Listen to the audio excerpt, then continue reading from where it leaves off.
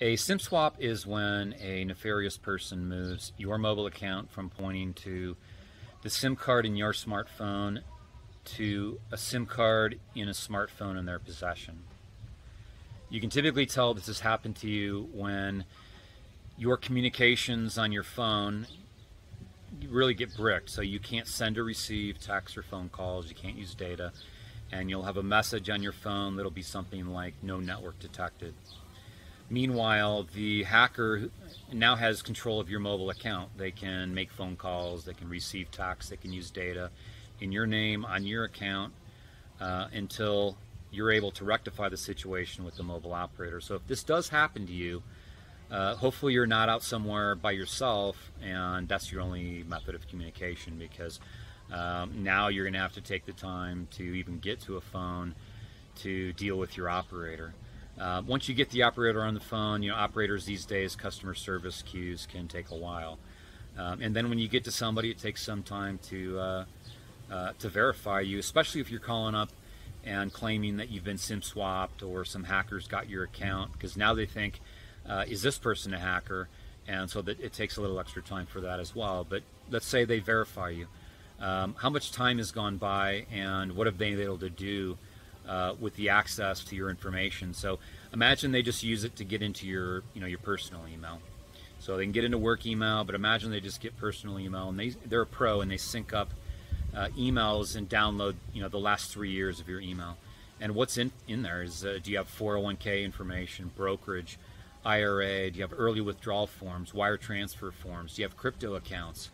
Uh, do you have all kinds of bank and crypto wallet notifications. Now they know that you use, you know, Coinbase or Gemini, Wells Fargo, Bank of America, Visa.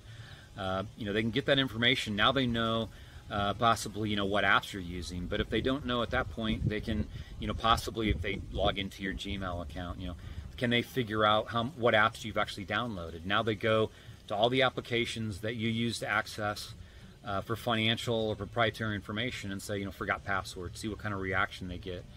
And so if your security is set up to where it does things like just simply, you know, an SMS temporary password, uh, they can change the passwords on your account. So now not only does your phone not work, but you can't even log in to your bank account or your brokerage account. And if you want to see the kind of havoc it rains on people, uh, go to YouTube and search on SimSwap News. And you'll find that there's news clips from all over the country of people who have been SIM swapped for you know, five thousand, twenty thousand, two hundred thousand uh, dollars.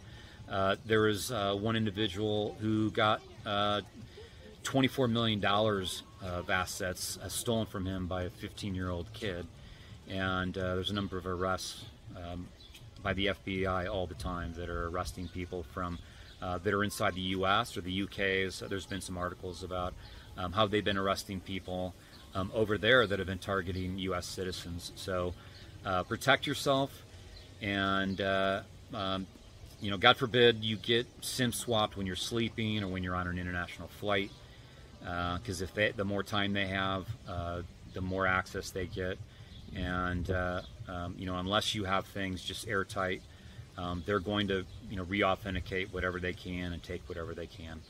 And uh, if they can't take data, they're going to sell it, uh, your information on the dark web and uh, they're going to get other hackers that are going to come after you. So it's a it's a long lasting effect, and uh, you know hopefully you switch to Efani's secure and private mobile service.